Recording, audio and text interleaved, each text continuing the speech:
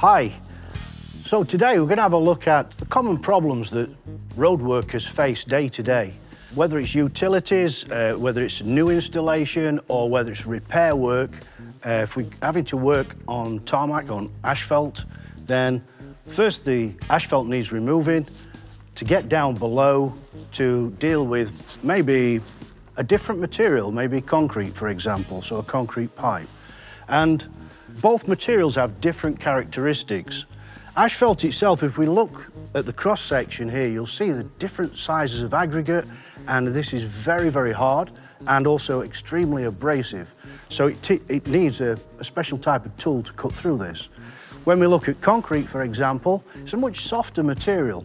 But again, this will have a reinforcing bars, so steel bars, which again need uh, a special tool to be able to work with the concrete and the reinforcing bars. So let's have a look at the types of product that we can use. Okay, so let's have a look at the construction and design of a diamond tool that's developed especially for this abrasive material like asphalt. So here we have um, a diamond wheel with a metal matrix made of a very, very hard metal matrix to withstand these abrasive properties while cutting through asphalt. In addition to the very hard segment, we also have the inclusion of safety segments.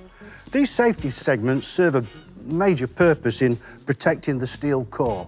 When the diamond wheel is rotating through the asphalt, we get a lot of undercutting which causes damage to the steel core. And this steel core, if we damage, uh, create wear there, you can get the diamond segment um, breaking out prematurely.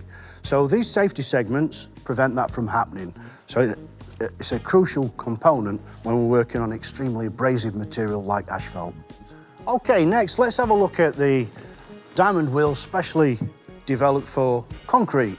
This has a a softer bond. This has to work through the concrete itself, but also it's going to be faced with metal reinforcing structure as well. So we need a, a softer bond to allow fast cutting through different types of material associated with concrete.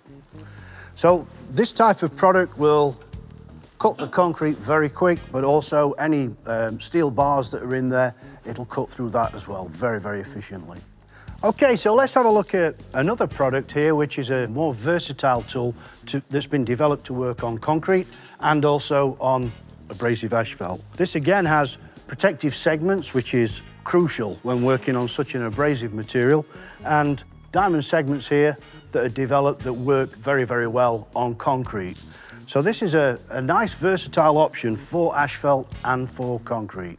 So that concludes this part on diamond wheels working on asphalt and concrete. But until next time, goodbye.